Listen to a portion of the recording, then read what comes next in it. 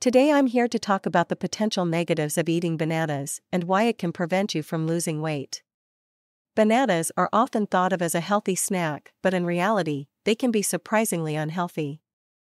They contain a lot of natural sugars, which can be problematic for those trying to lose weight. One of the major problems with bananas is that they are high in calories. A single banana contains 105 calories, which is more than a cup of grapes or a small apple. That means that if you eat bananas every day, you could easily pack on the pounds without realizing it. Additionally, bananas are high in carbohydrates. One banana contains 27 grams of carbohydrates, which is more than most other fruits. This can cause a spike in your blood sugar levels, which could make it harder to lose weight. Bananas also contain a lot of natural sugars, which can be a problem for those trying to cut back on their sugar intake. A single banana contains about 14 grams of sugar, which is almost as much as a can of soda.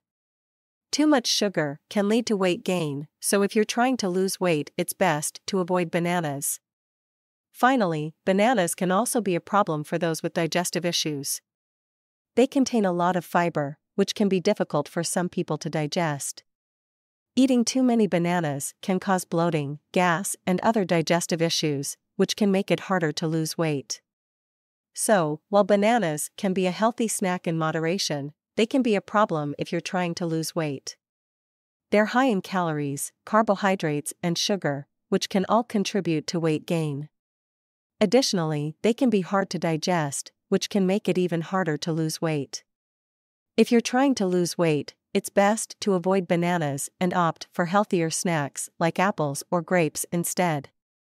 Thanks for watching, and I hope this video was helpful. Don't forget to like, share and comment.